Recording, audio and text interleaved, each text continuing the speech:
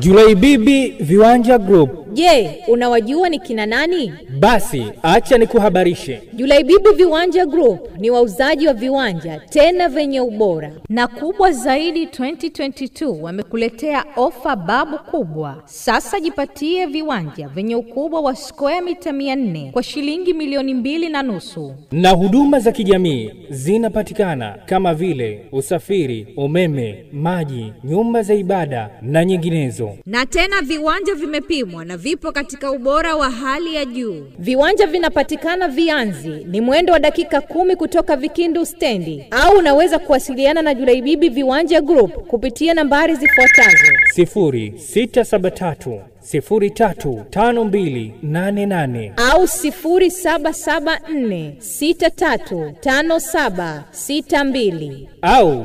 0755105124 kwa viwanja vya uhakika na vyenye kuaminika. Waone Julai Bibi Viwanja Group ndio suluhisho lako. Nyote mnakaribishwa.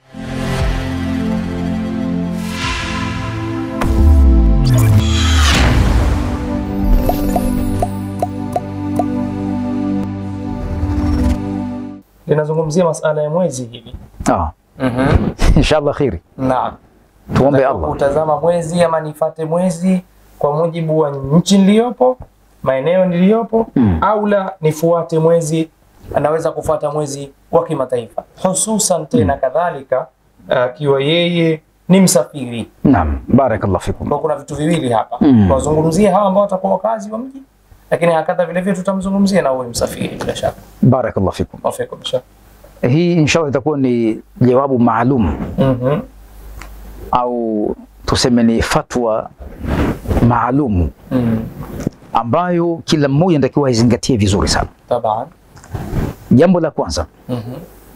ikhtilafu lahillati amrun tabiiyun kauniyun kawanahu Allah, uwepo wa utofauti wa miandamu ya mwezi mm -hmm. ni jambo la kimaumbile ya dunia lililoumbiwa na Allah subhanahu wa ta'ala, wala hilo halipingi mtu yoyote. Kuna watu sile toka mchana muda huu wao ndio kwanza wameingia kulala, Mm. ni kawaida. mm -hmm. Wao ni usiku wa saa, sisi kwetu huku ni mchana Mchana taban. naam. na majira tofauti. Kwa hivyo hawawezi kuwa wale wafuate somo yetu sisi au situfuate somo yao wao. Mhm. Kuna tofauti ya masaa mengi mno bila shaka, mm -hmm. na mfano hayo. Na jambo la pili ni kwamba suala la kuwepo ikhtilafu si swala la kuwa ni geni katika masala ya kisheria. Swala hili lipo tokea karne nyingi, na asli ya hukmu ilivyo tokea zama za Mtume sallallahu alaihi wasallam ni kwamba likulli baladin ru'yatuhu Mm. kwamba kila nchi au kila maeneo Mm. yanafuata kuonekanwa mwezi katika maeneo yao, kwa maana nchi zao wenyewe, kutegemea mipaka baina nchi na nchi baadhi ya wakati, lakini kwamba wale watu katika ule mji wao, nchi yao, wao ni aula kutazama mwezi katika nchi yao, si kuiga mwezi wa nchi nyingine ya mbali. mm -hmm. Hiyo ndo sahihi katika fatwa zaidi. Na juu ya hayo zipo kauli za maulama kwamba wamesema kwamba mwezi ukionekana popote duniani Mhm. basi Waislamu wanafaa dunia nzima wanafaa kufuata mwezi wa nchi ile. Hii ni kauli pia ya baadhi ya maulama, na ziko hoja mbalimbali katika makundi haya tofauti tofauti, lakini usahihi zaidi ukirudi katika hadithi iliyopokelewa katika Sahih, katika Bukhari, Muslim, kule kuna hadithi ziko nyingi zimezungumzia habari hii na katika Sunan akiitwa mtu mmoja akiitwa Kuraib Mm. kisa kisa cha Kuraib na Ibn Abbas maarufu Maarufu kisha cha Quraysh. Naam, kwamba alipokuwa katika mji wa Sham Mhm. Syria, waliuona mwezi wao mapema kabla ya kuonekana mwezi upande wa nchi ya Madina Hijaz. Kwa hivyo Quraib alikuwa yuko Sham wakati ule na Muawiya ambaye ni kiongozi wa Sham wakati ule yuko kule katika, katika nchi yake, wakauona mwezi, wakauona siku hiyo, wakafunga siku ya pili. Aliporudi Quraib katika mji wa Madina, ikawa ni siku yake ya mwisho ya kwamba hawezi kufunga siku 31 Mm. kwamba yeye kishafika mwisho wa kufunga, lakini kule bado ilikuwa siku moja mbele anafunga Mm. Kabidi Quraib muulize Ibn Abbas kwamba lakini kule tumeuona siku fulani sisi, mm -hmm. na Muawiya kauona na watu wameuona, amefunga watu wote siku hiyo. Je, hutosheki kwa kufuata kuonekana mwezi kupitia watu wa Sham, akasema kwamba la, hatutoacha kufunga mpaka tuone mwezi, hata nara alhilal, mpaka tuone mwezi, au nutimma liddata 30 yawman, au tukamilishe idadi ya siku 30. Kisha kasema Ibn Abbas ya kwamba hakadha allamana au amarana Rasulullah sallallahu alaihi wasallam, kwamba hivi ndivyo alivyotuamrisha Mtume Muhammad sallallahu alaihi wasallam. Tufanye, ima tuone mwezi au tufike siku 30. Mfano leo mwezi 29 Shaaban, leo siku ya Ijumaa, kwamba tunatarajia kwamba tunautazama usiku huu wa leo, kwa sababu huenda ukaonekana ikawa kesho Ramadhani, na huenda usionekane 29 kwa sababu ikawa kesho 30 Jumamosi. Yote inawezekana. Kwa hivyo umeonekana, itakuwa ju- Ramadhani. Haukuonekana, hatufuati mfano nchi nyingine yoyote duniani kwamba pala fulani nchi hii nchi ile. Hakuna yani haki wala usahihi katika fatwa zaidi kwa tufuate kule. Kwa nini Sheikh Shaban, wakati ambapo inawezekana kwamba uh, nchi ambayo inawezekana labda tunafuata mfano labda nchi kama Kenya hatujatofautiana kwa masaa, Naam. lakini hakadha kuna nchi nyingine duniani pia, sina hakika sana Naam. lakini naamini zipo nchi mbalimbali ambazo hatuja hatuja hatujatofautiana kwamba saa ikiwa sasa hivi ni saa saba na kule ni saa saba Naam. ikiwa kule ni hakadha na hakadha, utakuwa na kuna tofauti ipo. mm -hmm. Ukirudi katika, katika kusoma zile ramani za nchi zilivyo, kuna bu'dul masafa, kwanza ule umbali wa masafa ya zile nchi, mm -hmm. kwa maana ile mipaka ya, mas, ya, kima, ya kijiografia kwa lugha nyingine inatofautiana, na pia utokezea vile vile baadhi ya wakati kwamba hata wao wenyewe mm -hmm. wale ambao kwamba tuchukulie kwamba nchi ambayo inafuatwa sana na baadhi ya watu ni nchi inajulikana, nchi ambayo Al-Kaaba ipo kwamba Saudi Arabia, wanafuata watu Saudi Arabia. Lakini fatwa hata ya Saudi Arabia yenyewe maulama wake wanasema kwamba kila nchi ifuate pala pake wenyewe, na wao wenyewe hawafuati mwandamo wa nchi yote duniani. Kwa sababu gani? Jawabu kajibu Ibn Abbas mapema sana kwamba hivi ndivyo alivyotuamrisha Mtume Muhammad SAW tufanye. Kusha habari. Kwa hivyo haina haja ya kwa nini kwanza hivi ndo kamlisha mtume tufanye. Kwa tukihoji kauli ya mtume tuna halifu sunna. Hivi ndo katuhadithia Ibn Abbas, na ndo mtaalamu katika sheria katika dini, na ndo masahaba walikubaliana vile, na watu Madina hawakufungua kufuata mwandamo wa nchi ya Syria, na Syria na Madina si masafa makubwa kiasi hicho, manake kwamba ikawa ni masafa ya mbali sana namna hiyo. Lakini juu ya hayo ikafuatia ikafuatia hukumu ile, lakini juu ya hayo yote Imam Muhammad Muhammad ibn Salih ibn Uthaymin al Uthaymin katika maulama wa madhhabi ya Hanbali au baadhi yao kita madhhabi ya Salafi, kwa sasa wengine kita Salafi, katika fatwa zake ziko wazi kabisa. Katika Majmu al-Fatawa utakuta fatwa iko wazi, au katika fatawa siyam, fatawa nasi wa fatawa muasira imetajwa cha Dr. Abu Amar Mahmud al-Misri, iko fatwa wazi kabisa. Na ni katika ahli sunna wal jamaa na katika watu ambao wanategemewa katika fatwa katika madhehebu hayo. Ametaja hiyo fatwa hiyo, na ndio katilia mkazo kwamba watu wafuate mwanadamu katika nchi yao, hata ikiwa siku ya Arafa kaitaja kwa jina hasa fatwa. Naam, hata siku ya Arafa ikiwa watu wa Maka kwao ni mwezi tisa, kwa nchi nyingine wao kwa tarehe yao kwa mwandamo wao ulivyokuwa ni mwezi nane. Basi hawatolazimika kufuata ile tisa kwamba ndo Arafa ya kwao, wakati wao ni mwezi nane kule mwezi tisa. Naona. Kwa sababu Arafa watu ufahamu kwamba Arafa ni, ni Maka, lakini Arafa kuna vitu viwili. Kuna Arafa biitibari zaman, kuna Arafa kuzingatia wakati, kwa maana siku ya Arafa tunaita yaumu Arafa, somu yaumi Arafa, mm. wa huwa alyaumu tasiu min Dhilhijja, kwamba somu ya siku ya Arafa baina ya qausain, yani into bracket, kwamba eh, nayo ni siku ya mwezi tisa katika mfungo tatu. Kwa hivyo siku ya mwezi tisa si ile ya Maka, ni kila watu na pahala pao kwa tarehe zao. Kwa hiyo kwa maana hiyo, Sheikh Shabani, yale maneno ya mtaani kwamba utakuwa umetengeneza arafa yako. Hakuna arafa ya mtu, ehe, hiyo ni arafa ya pahala pale kwa tarehe ya pahala pale.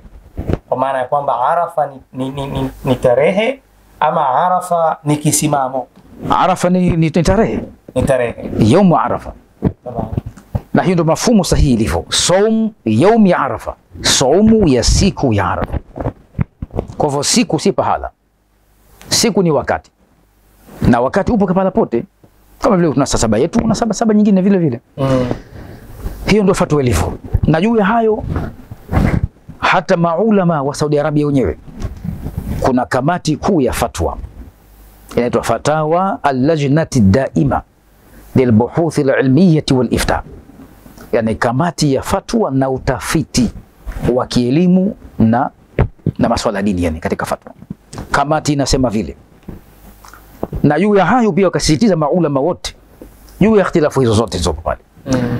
kwamba walakhdhu biqauli mufti lbaladi huwa almamulu bihi, na kufuata kauli ya mufti wa nchi ndiyo kauli inayofanyiwa kazi katika fatwa. Mm. Na alipokuja hapa Tanzania mm -hmm. make nchini Tanzania ile Dr. Muhammad Al-Arifi mwanachuoni daia mashuhuri kutoka Saudi Arabia Mm. -hmm. aliulizwa katika aliulizwa katika misikiti fulani tembelea baadhi ya maeneo mikoani, sina ya kutaja majina pahala na, ilikuwa lini na fulani na hivyo, hana lazima, inajulikana kwamba aliulizwa kuhusu fatwa sahihi. Wanapata tabu watu kila kifika mfungo tatu, kifika Ramadhani, wafate wapi, wafate nini, hawajui watu kwamba wanaambiwa kwamba maulama wote wamekubaliana kwamba watu wafate nchi fulani kwa kuwa kule ndo Alkaaba, kwa kuwa ndo kadhaa.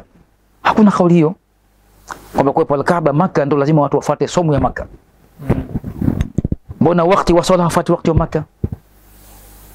Kwamba ikiwa saa tisa alasiri na, na nusu na kule pia tufuate vile vile adhana na iqama, kuftari kwao kwa fuate dakika zile zile na sekunde zile zile. Akaulizwa swala lile, akatoa fatwa kama ilivyoelezea mwanzo, na mwisho akasema pia kwamba midhali katika nchi hii Tanzania, manake kwa ujumla kwa kwamba Tanzania kuna mufti wake basi akitoa kauli mufti kwamba tufuateni nchi fulani, tuna haki ya kufuata. Akisema tunafuata kauli ya kwamba tunafunga kwa kuna mwezi katika nchi yetu, tufuate kauli ya mufti, na hayo ndiyo maagizo sahihi katika dini.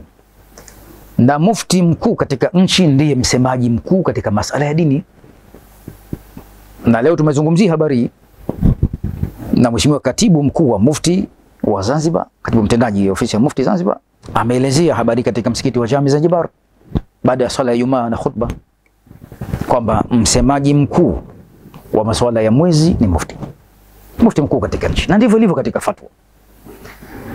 Bali zama za Mtume sallallahu alaihi wasallam ilikuwa wanauona baadhi ya watu mabedui, watu fulani katika misafara, unaona mwezi pahala njiani kwao, mm -hmm. hawatangazi wao wenyewe ule mwezi, japokuwa wameuona wao wanakuja kwa kiongozi wa dini wakati Mtume sallallahu alaihi wasallam ambia Rasulullah, inni raaitu alhilal, mimi nimeona mwezi. Anatoa ushahidi kwamba kaona mwezi kweli, unatangaziwa. Mtume anatoa amri kwamba tangazeni mwezi mwonekana, kwa kuwa umethibitika kwa ushahidi kamili. Kwa hivyo si kila mmoja atangaze mwezi kwa kauona mwenyewe, hapana. Anatoka kaona kitu chingine, si mwezi.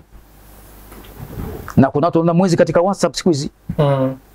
Unaandama kwa picha tu siku hizi, natuma picha hivyo umeonekana, watu wanaamini umeonekana. Kuna swali huko Shabani. Ala kulli hal, Duniani iko mingapi? miezi ipi?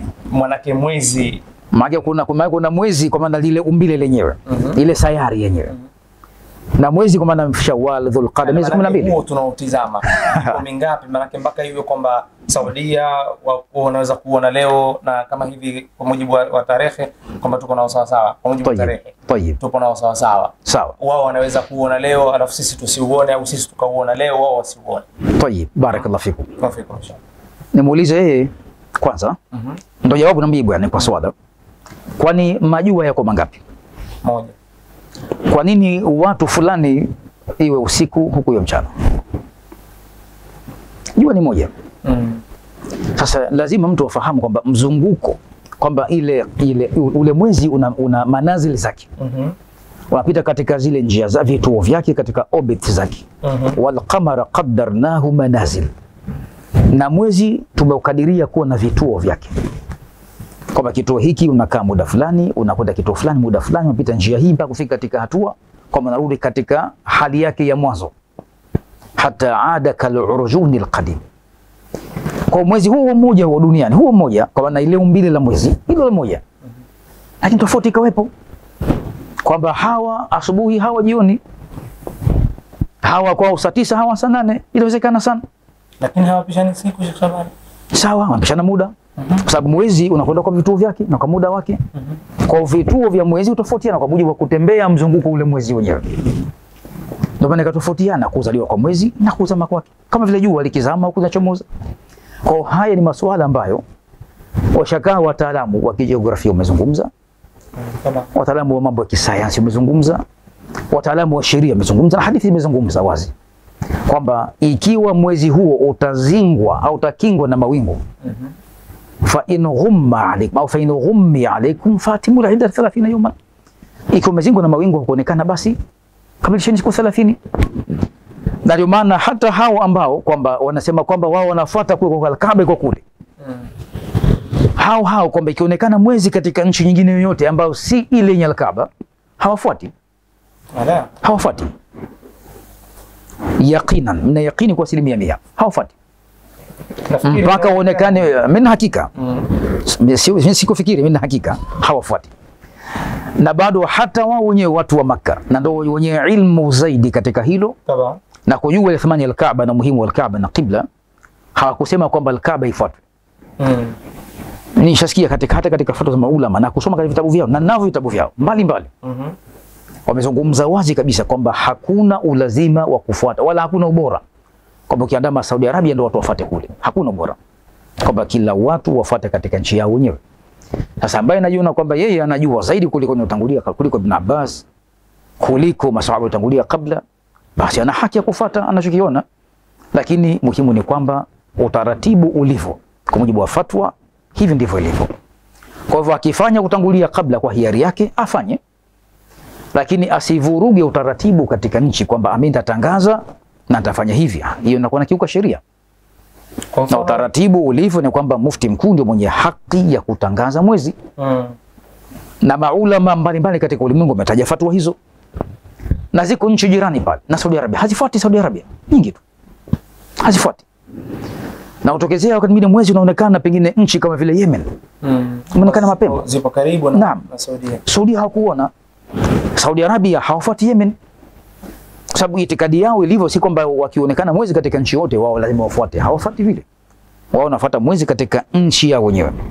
Wanapata tabu ni wale ambao wanafuata mambo hali ya kuwa dalili za kisheria hawakusoma uzuri kazifahamu. Lakini hapo kuna kuna kuna kuna swali moja ambalo wakati tunataka kufungia maudhui haya ambapo lipo swali hapa, lakini mfano wa swali hili ambalo ameuliza huyu mwenzetu ni kuhusiana na uh, ile uh, hadithi ya Mtume sallallahu alayhi wasallam amezungumzia hilal. Naam, Hilal ni nini kwa Rasulullah? Hilal. Eh. Na hili silijui. Ah, utakapoona labda eh. anakusudia eh. labda kusudia mfano Al hilal naam, taba. Ah. Mfano la tasumu hatta tarau alhilal. Ah, naam. wala tuftiru hatta tarauhu. mm -hmm. Hadithi Imam Bahaqi na wengineo mm -hmm. kwamba msifunge la tasum, msifunge hata tarau hilal mm -hmm. mpaka muone mwezi, mwezi. Huu utakuwa mwezi mosi lazima uwe mwezi mosi au la? Manake kwa sababu kuna ah, kwa... kama tukizungumzia alhilal, maana tunazungumzia kwamba kuingia kwa mwezi, kwa maana kuanza kwa mwezi mm -hmm. na kumalizika kwa mwezi Taba. Kwa ikija salifi kama hiyo, mfano msifunge mpaka muone mwezi, maana hii ni mwanzo wa mwezi na nahusu mm. Hadithi hiyo mbele mbele yake kwamba kipande cha pili, wala tuftiru hatta tarauhu, wala msifungue, maana msile mchana mpaka muone tena mm. Kwamba tumeona magharibi ule 30 mfano Mhm. au 29 tumeona ule 29 pale tumeandaa make kesho ni sikukuu. Mhm. Kwa hivyo tusifungue mpaka tuone, maana tusile mchana mpaka tuone pia kwamba umeandama kwa ajili ya kufungua, tusije kula mchana. Fa in ghummi alaikum, ikiwa utazingwa ule mwezi amkuona, fa atimu liddata 30 yawman, kamilisheni idadi ya siku 30. Kwa hivyo hatukuona leo, tunakamilisha 30 japokuwa tuna vifaa vya kutazamia taban, vipo kwamba vinakuza maumbile yale, kwamba unaweza kuona katika hali ambayo itakuwa macho kawaida hayawezi kuona.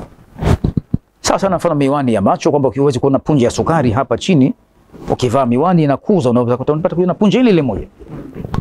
Hakuna haram kutumia eh, zile telescope za kutazamia mwezi Mm. sababu ina, inakuza umbile la kitu, kaona kwamba kile kitafuta ndo kile pale. Kwa macho kawaida tu sikioni kwa kuwa kuna umbali mrefu baina ya uwezo wa macho kuona na baina kila kitu kuweza kuonekana kwa macho yako.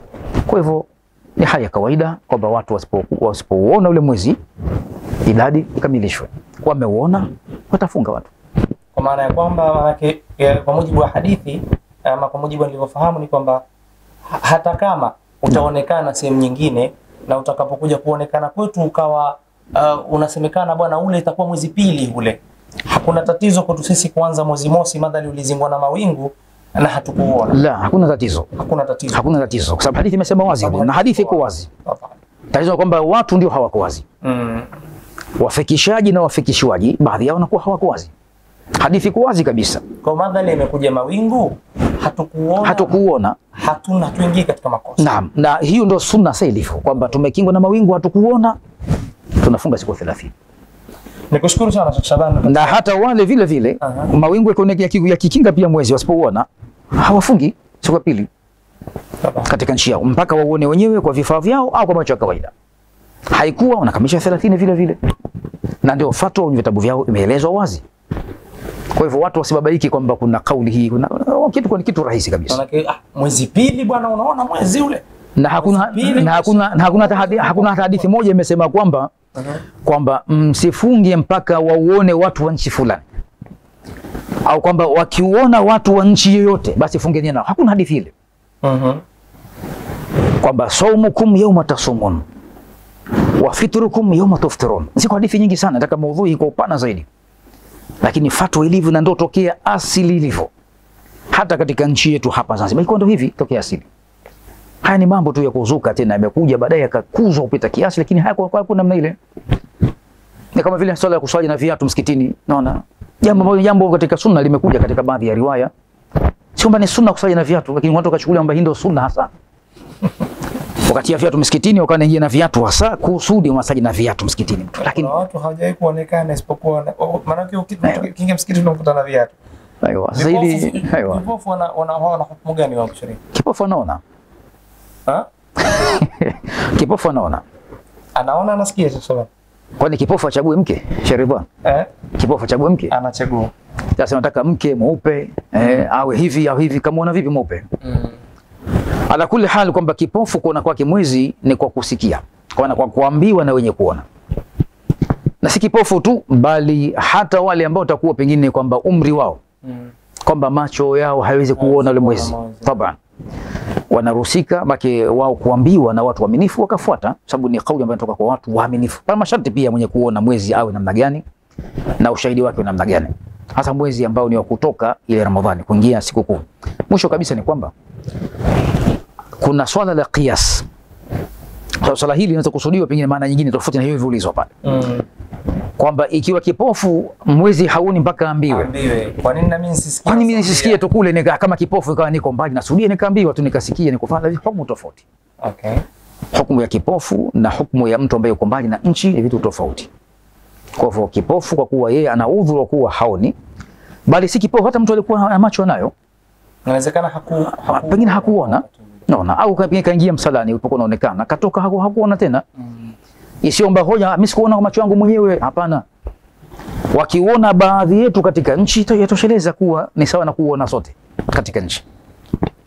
Nikushukuru sana Sheikh Shaban, bila shaka kwa ta'ala ufafanuzi wa swali hilo. Mtazamaji, nafikiri tumeweza kustafidi vya kutosha kutokana na swali hili, lakini pia biidhnillah alkarim, leo baada almaghrib, uh, majira ya magharibi inshallah, tutakuwepo ofisi ya mufti pale inshallah, mubashara kabisa kwa ajili ya ku kulihaki, kulihakiki hilo inshallah kupitia. Riyadh TV. Kwa hiyo usiache kutufuatilia pia inshallah. Kwa hiyo ikiwa utaonekana utatangazwa pale pale na sote tukiwa pale mubashara kabisa inshallah. Inshallah Tu- Wakati tunahitimisha katika masala ya Shabani, kuna huyu ameuliza kumbusu mkewe mchana wa Ramadhani vipi yafaa?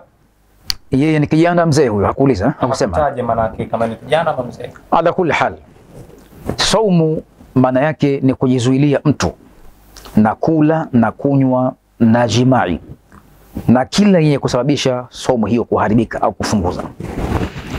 Na juu ya hayo pia maulama katika fatwa wametaja kuna mambo ambayo ni makuruhu kuyafanya, Maana si jambo jema kuyafanya, ni jambo linachukiza kuyafanya. Sasa ikiwa huyu anauliza ni kijana, kijana bila shaka anajulikana kwa mujibu wa sheria na mujibu hata ya, ya kibiolojia ilivyo kimaumbile -hmm. kwamba matamanio ya kijana si sawa na ya mtu mzee. Naam, ni mtu tofauti. Pia pia kuna wazee wengine kidogo wamo kuliko vijana, baadhi ya wazee wamo. Unaona kuna mzee miaka 90 amembaka mtoto miaka mitano, si mtihani usha. Sasa haya mabala makubwa yapo. Kwa jumla ni kwamba ikiwa anahofia mtu nafsi yake kuamsha hisia za matamanio, basi asimbusu mkewe mchana Ramadhani, ikiwa mchana au asubuhi, maki muda ambao ni muda wa somo, asimbusu. Naam, ama baada ya kufungua kwake afanye atakafuta, kwa sababu ni ruhusa. Kwa hivyo ajiepushe na kile ambacho kinapelekea kuweza kuingia katika matatizo na akiwa na shaka na hilo pia, basi hukumu ni kwamba daa ma yuribuka, acha lenye shaka fakampata ambalo halina halina shaka. Lengo la kufunga pia ni kudhibiti mtu shahwa zake, kwa akifungulia shahwa za kubusu mkewe, atafungua shahwa za kukamatwa mwili wake wa ndani. Mwisho inakuja kufikia hatua kwamba shekhe, bahati mbaya ilikuwa hivi, bahati mbaya sijakusudia, kafanya jambo la kubwa zaidi, atafuta fatwa wakati kisha haribu ibada yake. Kuepusha kuharibu ibada yako na chunga fadhila na utukufu wa mwezi huo, wallahu taala alam. Shekhe, naomba kuuliza, eti mwanamke anapokudai talaka mwenyewe, je, kabla ya kumpa talaka, wakati bado wewe wamtaka, unayo haki ya kudai mahari yako? Taban, ikiwa mke ametaka kuachika yeye mwenyewe kwa sababu zake yeye mwenyewe binafsi yake, mume ana haki ya kudai kurejeshewa mahari. Ikiwa kwa sababu za mume, Mume atakuwa hana haki ya kudai mahari, na hapo inatakiwa sasa warudi katika mahakama ya kadhi. Ili ifanyike tafriq au fasakh, kuvunja ndoa au kutenganishwa kwa ndoa. Kwa hivyo kadhi ataangalia kwamba je, sababu hapa ilitokezea baina ya hawa kwa kufikia hatua kuachana, je, sahihi kwa mume ndo sababu? Mm. au mke ndo sababu? Au mke kamsababishia mume afanye yale, warudi katika mahakama ya kadhi ikiwa kuna ikhtilafu baina yao, lakini asli ni kwamba ikiwa mke atadai kuachika yeye binafsi yake bila sababu yoyote kutoka mume, basi mume anayo haki ya kudai mahari yake arejeshewe. Wallahu taala alam. Kuna Sohaifa Sudi amesema, shekhe, mimi nimewahi kutembelea nchi f- fulani mashariki ya mbali, jua linazama saa nne au nne na nusu usiku Naam, na linachomoza saa kumi na mbili asubuhi. Sasa je, wafunge kwa kuzingatia kuzama na kuchomoza kwa jua au nini wafanye? Ala kuli hal, midhali kwamba swala hili kwetu sisi halipo toba, kwamba hali hii haipo kwetu, lakini wenye hali kama hizo maulama wamezungumzia katika fatwa kwamba ikiwa ule muda wa somo unarefuka sana kwa upande wa nchi zao, hao watu wa aina hiyo, kiasi ambacho inakuwa ni vigumu kufunga masaa mengi, pia masaa ishirini, masaa kumi na nane au zaidi ya hapo, basi wao watakadiria muda wa kufungua na kufunga kwa kulinganisha na nchi ambayo iko karibu nao. Mfano, nchi fulani inafunga masaa kumi na sita mathalan basi na wao kifika masaa kumi na sita wafungue. Midhali kwamba kwamba jua linachelewa kuzama kupita kiasi na somo inakuwa ni ngumu kwao. Inahadithia kwamba kuna baadhi ya nchi wa- maki baina ya kufungua baina ya kufutari baina ya kusali alfajiri pana masaa kidogo sana, maki muda kidogo sana. Akisali magharibi anafutari Na. hayo anafunga, maki muda kidogo sana baina alfajiri na baina ya baina ya isha. wakisali magharibi wanasali sunna, wanasali salatu isha, tarawih raka mbili, witri raka moja, wanakula daku, wanaingia alfajiri. Maki hakuna muda tena kusema talala mtu amke apumzike, hakuna. Kwa hali kama hiyo inapelekea kurefuka sana somo, kwa utafunga kwa kadiri ya kukisia masaa kwa mujibu wa ile aqrabi baladin ilaihim, kwa mujibu wa nchi iliyokuwa karibu nao sana, watakopi muda wa kule ndo wajalie kuwa ni muda wao. Wao, watafunga kwa kiasi hicho ambacho wanakiweza, na saumu kwao itakuwa ni sahihi, imesihi kwao. Lakini sasa wakati mwingine nchi hizi hizi Sheikh Shaban Naam, utokezea wao wakafunga masaa kidogo, kwamba sasa hivi mchana ndo mkubwa, naam, lakini kuna wakati huzunguka jua ikawa ule mchana ndio mdogo, iwezekana masaa kadhaa tu. Je, itabidi wafuate mwandamo wa jua nini manake eh, eh. Eh, naam. Ala kulli hal, unajua dini imekuja katika sheria au katika hukumu katika swala la kutofanya ugumu kwa kutekeleza zile sheria za Allah subhanahu wa ta'ala.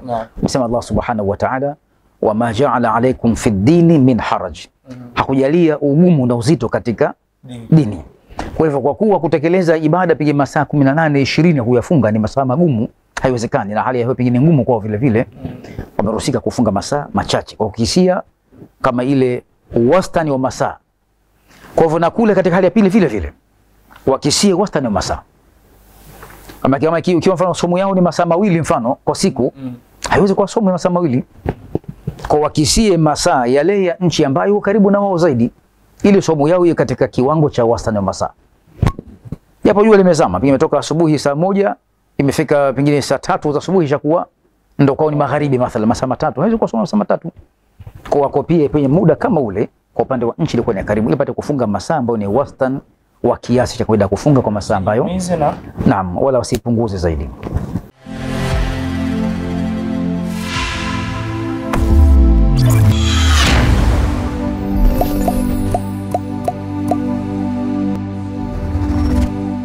Julai Bibi Viwanja Group. Je, unawajua ni kina nani? Basi acha nikuhabarishe. Julai Bibi Viwanja Group ni wauzaji wa viwanja tena venye ubora, na kubwa zaidi 2022 wamekuletea ofa babu kubwa. Sasa jipatie viwanja venye ukubwa wa square mita 400 kwa shilingi milioni mbili na nusu. Na huduma za kijamii zinapatikana kama vile usafiri, umeme, maji, nyumba za ibada na nyinginezo. Na tena viwanja vimepimwa na vipo katika ubora wa hali ya juu. Viwanja vinapatikana Vianzi, ni mwendo wa dakika kumi kutoka Vikindu stendi, au unaweza kuwasiliana na Julaibibi Viwanja Group kupitia nambari zifuatazo: 0673 035288 au 0774635762 au 0755105124 kwa viwanja vya uhakika na vyenye kuaminika. Waone Julai Bibi Viwanja Group ndio suluhisho lako. Nyote mnakaribishwa.